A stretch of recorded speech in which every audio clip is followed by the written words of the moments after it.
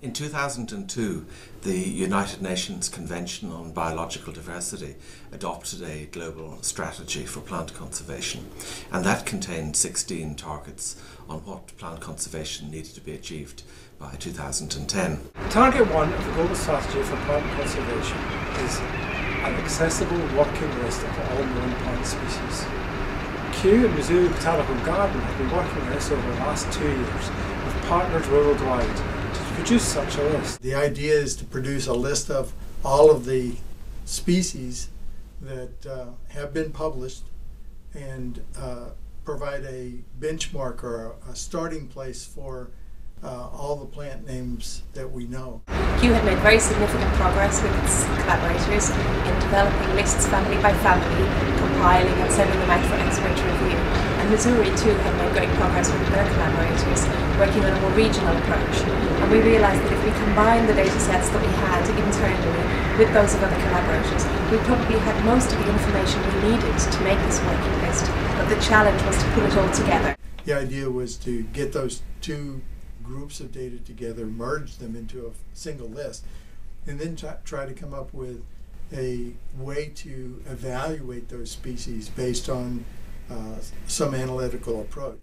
It's a great achievement for this first ever list to become available. We ultimately depend on plants, and the better we understand them, the better job we can do of sustaining them. The plant list is a really major step forward in terms of botanical science. It provides for the first time a, a basic checklist of what, what plants are on the planet, uh, which can be used for so many purposes, planning conservation action, looking at the economic importance of plants and so on. The plant list can be used by all those interested in finding out information about plants. It provides a mechanism for unambiguous communication and it facilitates finding out information using all names which may pertain to a particular plant species.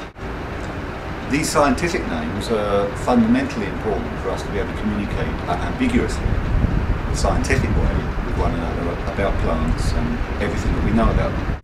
We have over a million names of plants, but because they were developed over a long period of time and there were uh, events that happened like this, the geographical species concept where people would go into uh, particular countries and just assume that all the plants in that country were going to be new and describe them as new.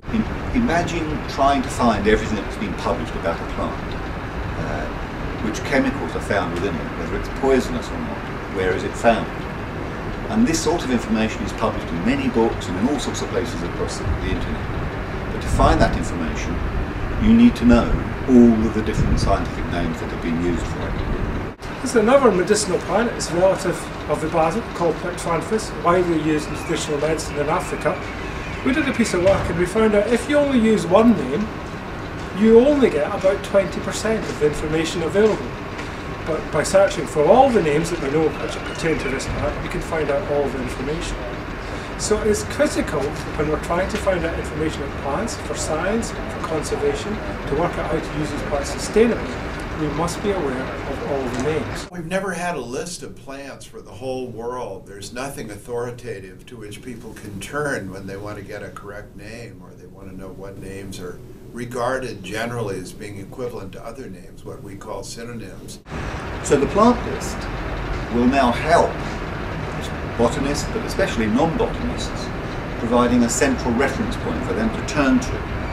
Uh, it's complete in that we have more than a million scientific plant names in there, and almost 50% of those are assigned as synonyms of one another all of the names that have been applied to the species of plants that we know about are included in the list. And none have been thrown out arbitrarily. There are some that are not validly published, and of course, there are many that are synonyms equivalent to other names and not the prime name chosen for that species. First challenge for us was detecting the same name in different databases when they might have been included in slightly different ways or abbreviated. The idea we came up with was to use all of the resources that we had in uh, digital form, uh, databases if you will, and uh, try to find a way to synthesize them together and kind of uh, uh, duplicate the kind of thought work that would go into uh, put it, pull it, or merging together a lot of this information. It isn't easy to do something like this, uh, particularly when you know it's really never been done before. The second challenge was that where the same name was occurred in more than one database, it might have been used in different ways. In other words, the different databases that we brought together had conflicting opinions expressed within them. So we needed to detect those conflicting opinions and then in some way resolve them. So we established a set of decision rules, trying to imitate the decision-making process that botanists would use. Using some, uh, what we would call rules or decision rules, writing some programs that then uh, read all these various sources of data and then applied these rules and came up with a, a, a, a decision of amongst the conflicting uh, opinions which one would be the best one. The key successes for this project have been diverse. I think one really important thing was the ability to develop a set of rules that would enable us to automatically mimic the behaviour of a botanist resolving conflicts in names. And then developing an approach that enabled us to build on the work of other specialist groups who had produced lists for families or areas already.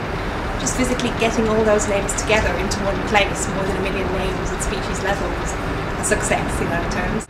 I think it is a major achievement to have done this, and also it provides us an example of how a target can bring together a community. We'll be able to devote much more time to studying the plants, learning about them, and describing their characteristics, and very importantly, in an age of rapid change, conserving them. So the list is a tremendous asset to human abilities to work with plants, to utilize their properties, and to save them as the 21st century rolls along. I think the uses of the plant list in the future will be very diverse.